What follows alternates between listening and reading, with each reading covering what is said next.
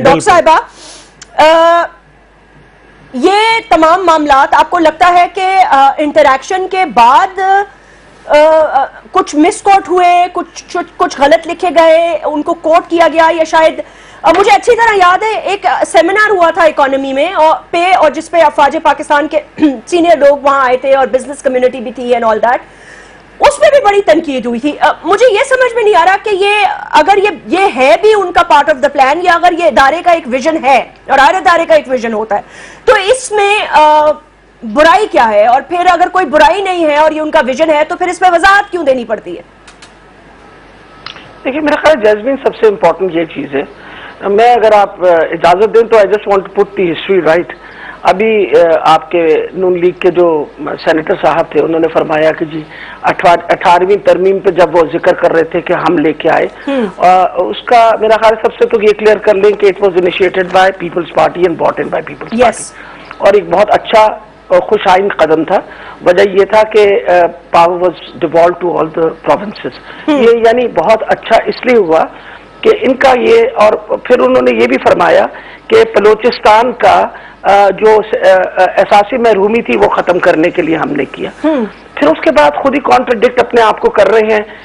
اگر سینٹ کا چیئرمین بن گیا تو جس طرح کی سٹیٹمنٹس دی گئی ہیں do you think this is good for democracy یا آپ سوچیں ڈیموکریسی کے لیے اچھی ہے مقصد یہ ہے کہ اگر آپ کے ایم این ایز نے ووٹ کہیں اور دے دیا تو check your own M N As نا۔ وجہ یہ ہے کہ جس کو جو بن گیا چیئرمین سینٹ کا اس کو تو آپ کچھ نہیں کر سکتے نا۔ He has been elected through democracy democratic process وہ یہ کہہ رہے ہیں کہ ان کے پیچھے کسی اور کا ہاتھ تھا۔ آپ مجھے یہ بتائیے جب تک ہاتھ ان کے پیچھے تھا تب تک ہاتھ اچھا تھا؟ میں پوچھنا چاہ رہی تب تک ہاتھ اچھا تھا؟ سمجھ وہ بھی رہی ہیں؟ اب مقصد نہیں نہیں میں آپ سے یہ بات دیکھیں جس طرح ہم بات کر رہے ہیں نمبر ون میں I am not in this state of mind کے ہم اپنی فورسز کو اس طرح جس طرح کی ہم بات کر رہے ہیں we degrade them number one. Number two they are equal patriotic citizens of Pakistan number three جتنی سیکریفائز وہ دیتے ہیں میرا خیال ہے شاید ہم سویلینز اس طرح کی سیکریفائز نہیں دیتے۔ Number four they should not step out of their domain وجہ یہ ہے کہ یہ کیوں باتیں بار بار ان کو کرنی پڑ رہی ہیں؟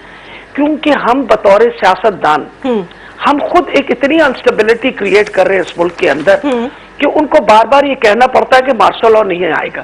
ہم کہتے ہیں کہ جی مارشل لا آ رہا ہے۔ یہ دیکھیں نا، بار بار کیا بات کہی جاتی ہے کہ جی مارشل لا آ رہا ہے boats are coming in they have to keep on coming and clarifying themselves آپ کہ جی نہیں وی آر ناٹ کمنگ ہمارا کوئی ارادہ نہیں۔ مطلب یہ اچھا لگتا ہے ڈز اٹ لک گڈ اس کا مطلب ہے سم تھنگ لیکنگ ان اس ہم بطور سیاست دانوں میں کچھ گڑبڑ ہے کہ ہم اتنے انسیکیور ہیں کہ then we go around looking for some other scapegoats اس وقت ہمیں کیا کرنا چاہیے تھا؟ اپنی آپ جمہوریت کو مضبوط کرنا چاہتے ہیں۔ تو ایک بہت اچھی بات ہے جو کہی گئی ہے کہ جی فیئر اینڈ فری الیکشن ہونے چاہیے۔ آپ اس پہ اگری کرتی ہیں نا کہ فیئر اور فری الیکشن ہونی چاہیے۔ ڈاکٹر صاحب ایک بات بتائیے let's come to the point کیا طریقے انصاف جی، کو یہ چیز لگ رہی ہے کہ کوئی این آر او ہونے جا رہا ہے؟ اور یا ہو سکتا ہے جی این شہباز شریف کو could be behind it no دیکھیں جی ہم اللہ نہ کرے کہ کبھی کوئی کسی قسم کا کبھی آئندہ این آر ہو۔ این آر او سے جتنا نقصان پہلے پہنچ چکا ہے کبھی ہم اس طرح کی چیز پھر برداشت نہیں کریں گے۔ غلط بات غلط ہوتی ہے۔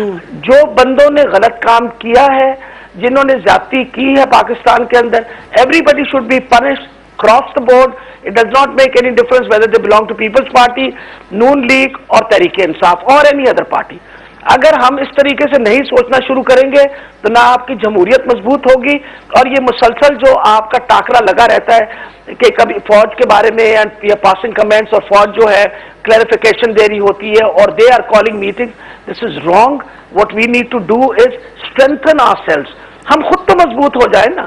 ہم خود تو مضبوط ہوں۔ ہم کیا کرتے؟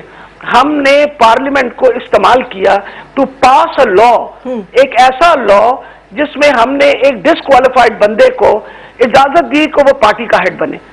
یعنی آپ دیکھیں نا پارلیمنٹ نے ماشاءاللہ کمال کیسے خوبصورت کے کیے پھر آپ ایکسپیکٹ کرتے ہیں کہ آپ کے بارے میں تعریف بھی کی جائے اچھی باتیں کر لی جائے۔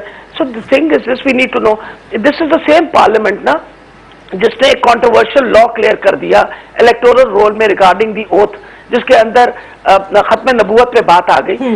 تو غلطیاں ہم کرتے ہیں نا تو ہمیں اس کا مطلب ہے کہ ہمیں پہلے اپنے گربان میں جھانک کے ہم سب کو کوشش یہ کرنی چاہیے کہ ہم اتنی مضبوط کر دیں ڈیموکریسی کوئی بندہ ہماری طرف نظر بھی اٹھا کے آپ کو ڈیموکریسی مضبوط کرنے کے لیے پھر اس چیز پہ ضرور عمل کرنا پڑے گا جس جو کوٹ ان کوٹ لکھی گئی باجوہ کے حوالے سے انہوں نے کہا کہ ملک کو ابھی تک مینج کیا جا رہا تھا گورن نہیں۔ اور اب وقت آ گیا ہے کہ ملک کو گورن کیا جائے اینڈ obviously پاکستان's economy is an absolute shambles